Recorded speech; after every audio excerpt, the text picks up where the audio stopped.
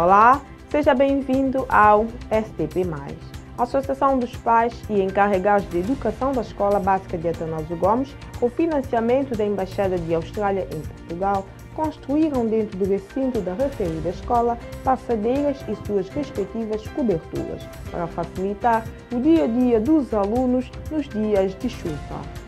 No primeiro dia de aulas na Escola Básica de Atanásio Gomes, depois de uma semana de férias de Páscoa, os alunos foram surpreendidos com esta nova passadeira e cobertura que irá por fim a alguns constrangimentos que os alunos, professores e todos que trabalham nesta instituição enfrentavam no dia a dia escolar depois da chuva. Os baixinhos sabem de cor o que passavam e como será doravante. Estou satisfeita porque fizeram essa passadeira, assim podemos nos proteger da chuva, assim não podemos mais molhar como antes.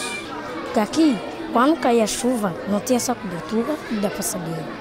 Molhávamos e as crianças ficavam na água e vão apanhar doenças.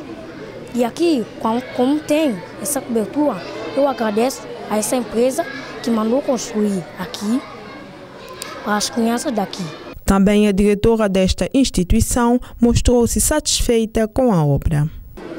Esta obra veio numa altura ímpar, dando a resposta das dificuldades que a escola enfrentava nos dias chuvosos.